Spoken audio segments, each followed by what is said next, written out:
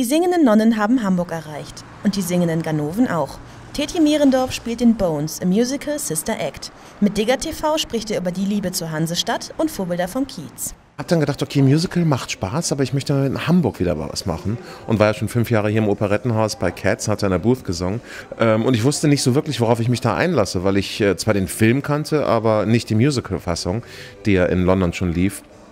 Und äh, bin dann so ein bisschen ins kalte Wasser gesprungen, habe dann am Vorsingen teilgenommen und äh, nach der dritten Runde haben sie mich dann auch äh, engagiert. Die Inspiration für die Rolle hat er sich von Hamburgs sündiger Meile geholt. Ich habe ja schon einige Jahre hier äh, auf dem Kiez gearbeitet, im Imperialtheater bei Cats und ähm, da kriegt man natürlich einiges mit, wie so die, äh, die Jungs ticken hier. Im, Im Tivoli habe ich viel gespielt und bin dann natürlich mit Leuten auch in Berührung gekommen.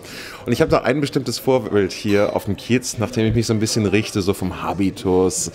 Aber ich verrate nicht, wer das ist, das könnte Ärger geben. Und hier auf dem Kiez legt man sich besser nicht mit den Leuten an.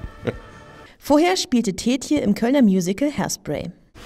Ähm, ich will nicht sagen, dass der Bösewicht mir mehr liegt, aber mh, mm, es ist mal was anderes. Also nachdem ich letztes Jahr nun die warmherzige Mutter gespielt habe, war es schön, jetzt natürlich mal wieder das Kontrastprogramm zu machen und äh, den harten Kerl zu geben. Da musste ich mal so ein bisschen wieder meinen äh, Hormonhaushalt ins Gleichgewicht bringen.